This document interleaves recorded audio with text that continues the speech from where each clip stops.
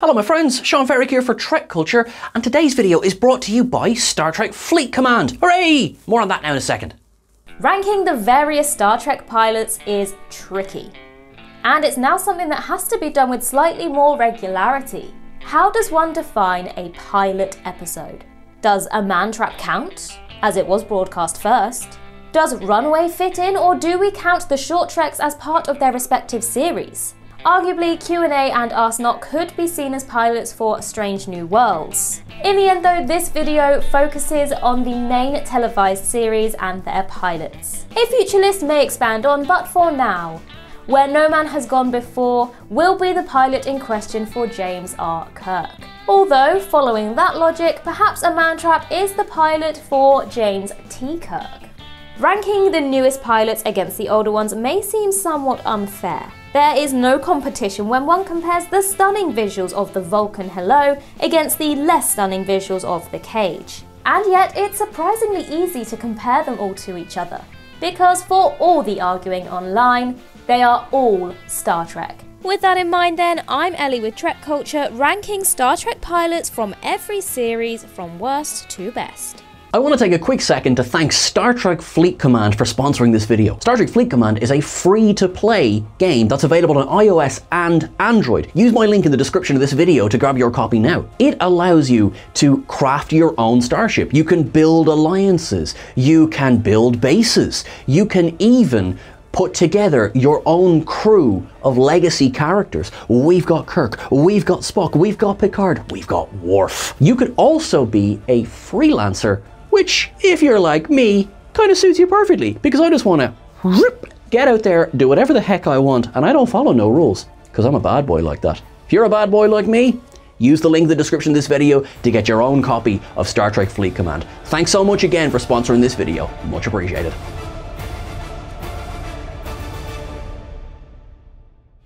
Number 11 Encounter at Farpoint.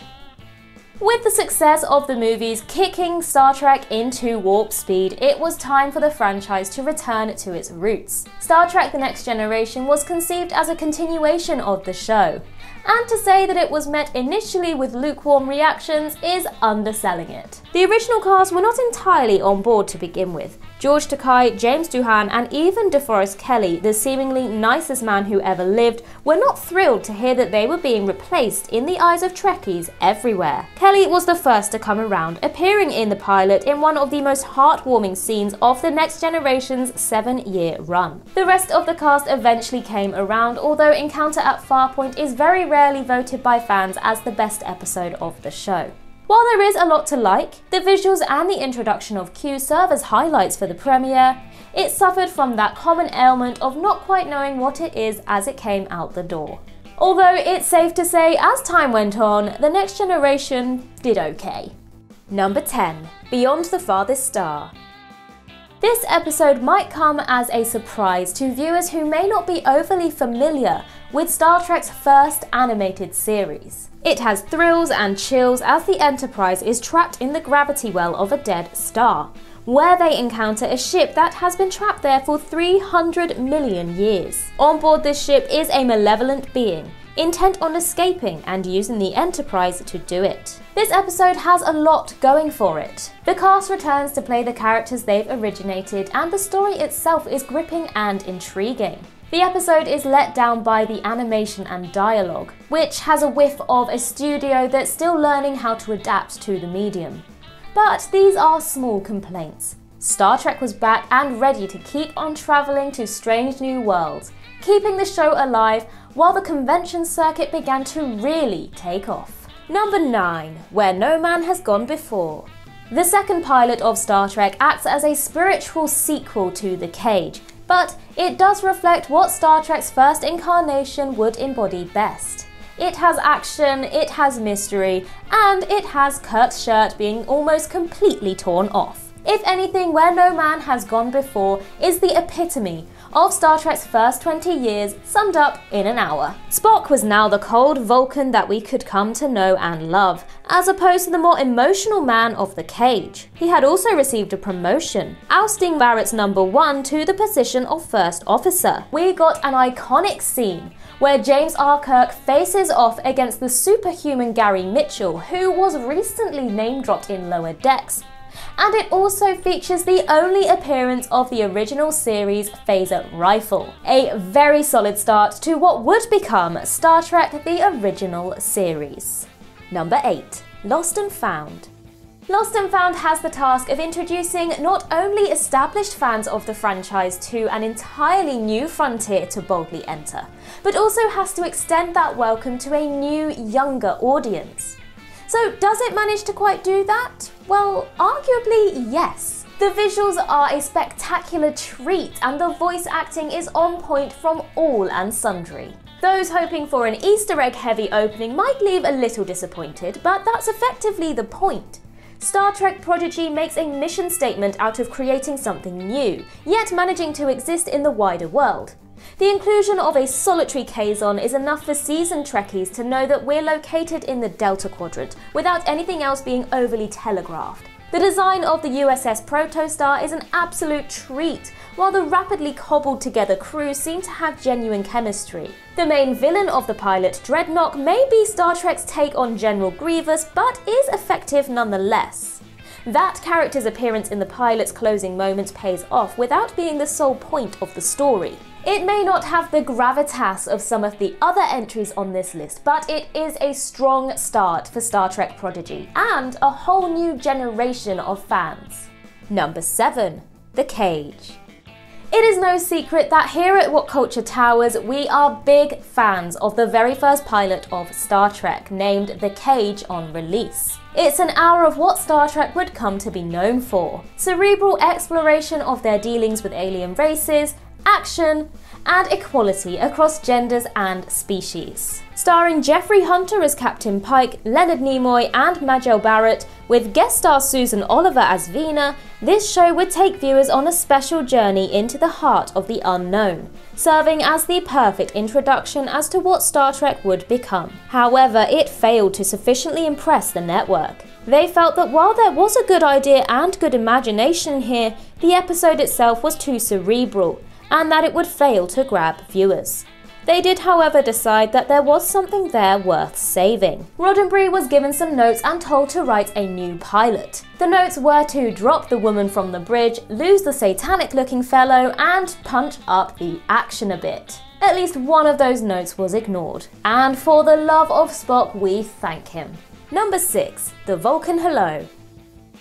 Star Trek Discovery has been dividing fans since the first news broke that another prequel was on the way. The first images of the show confused fans as to where and when it would be set. If, like the producers claimed, it was to be set before Kirk and Spock, why then did the technology look so modernized?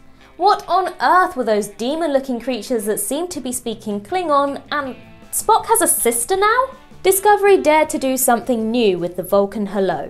It opened on the Klingons planning to unite to fight the Federation, then focuses on Michael Burnham and her disastrous attempt to save the lives of her ship and crew. The episode is beautiful. The effects team took every dollar they were thrown and handed it back to the audience in every shot of the episode. Everything is rendered to look so realistic that the ho hum graphics of some of Enterprise are immediately forgotten. The pilot does stumble though. It's told at a breakneck pace, screaming through the plot rather than offering the audience any time to swallow what's happening. We're given compelling characters with no time to be compelled. The second pilot comes two episodes later, though Discovery does ask a lot of its audiences in the first season. As pilots go, it's a tough one to follow. Number 5 Second Contact. It might seem a bit mean to say this, but nobody expected Star Trek Lower Decks to be great. Good, certainly. It had some excellent talent lined up for behind the scenes, and the show was thankfully not hindered by the lockdown, with actors able to record remotely. At best, some hoped this would be a fun addition to the franchise. It has become so much more. While there are moments of comedy that seem more at place in Rick and Morty, the show is treating the franchise not just with respect, but with reverence. In the pilot, we are greeted with a shot of space dock, followed by the surprisingly lovely USS Cerritos. The animation is superb and the voice talent nails it. The show is, to quote a famous Trek culture voice, piss funny. It absolutely smashes the comedy while honouring what came before. The pilot closes by name dropping not just Kirk and his crew, but also Gary Mitchell, who hasn't been heard from since 1966. Yet none of it feels tacked on. And the relationships established seem as real as any we've seen before. The future of Star Trek seems to be in good hands at the moment, and as Trekkies, that's a good place for us to be. Number 4 Remembrance. For that image alone, Star Trek Picard could have done nothing else and still made its way into the hearts of audiences.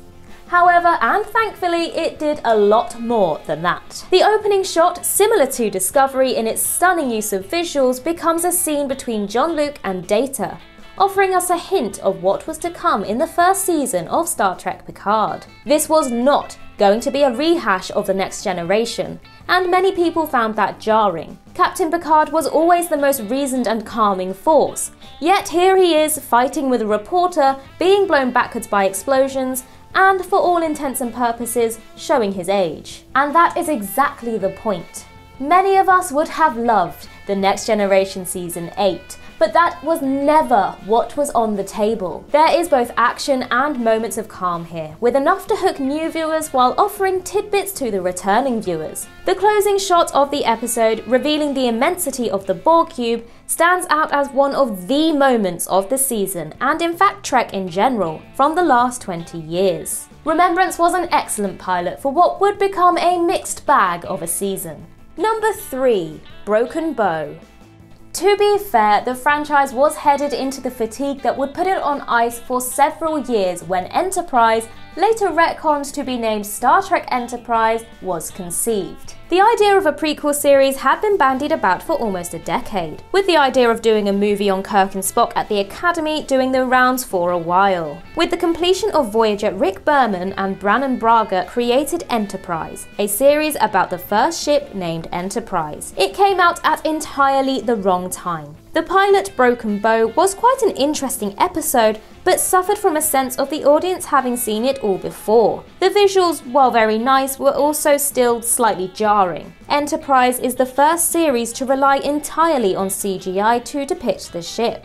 There were canon and continuity issues from the start, a theme that is yet to go away from Star Trek, and this served to put audiences off. While the pilot does the necessaries of introducing the crew and the ship, the timing of it all, just after 9-11, was against it. It does seem to be having a second life in recent years, something that is very welcome to fans of the show.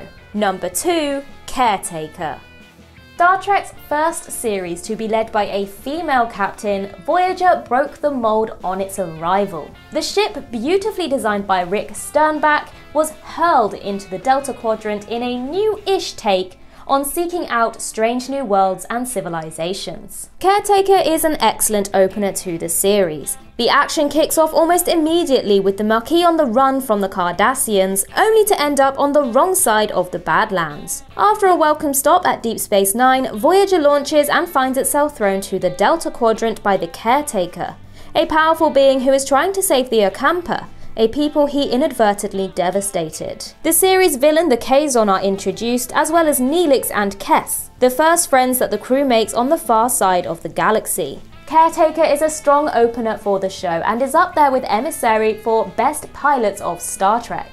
It knows when to hit, when to hold back, and when to show off some gorgeous visuals. Star Trek Voyager had arrived and it looked like it was going to be a good one. Number 1 Emissary. Star Trek's Deep Space Nine burst onto screens in 1992.